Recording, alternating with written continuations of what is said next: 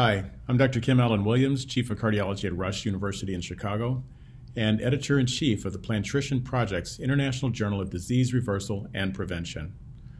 And I'm asking for your help. The IJDRP is the world's only independent, peer reviewed scientific journal dedicated to disseminating high quality evidence based nutrition science supporting the power of whole food plant based way of eating and healthy lifestyle choices to prevent and reverse chronic illness arming physicians and healthcare providers with high quality evidence based research is a critically important tool in the battle to overcome the devastating health and financial impacts of the preventable chronic lifestyle related illnesses ravaging our nation and our world.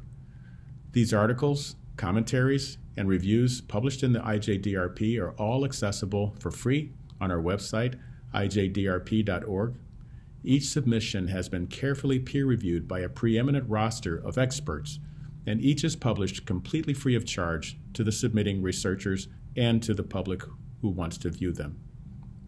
However, our work is far from done, and we need your help. Publishing a high caliber, independent, peer reviewed journal is costly, and we have not taken a single penny from a corporate entity because we are committed to publishing research that is free from corporate influence. This makes your contribution critical to helping us lead the movement toward healthy eating supported with high quality evidence based nutrition science. On behalf of the IJDRP team and the Plantrician Project, please consider supporting the journal with a donation at a level that is meaningful to you. Donations of every size are encouraged and greatly needed.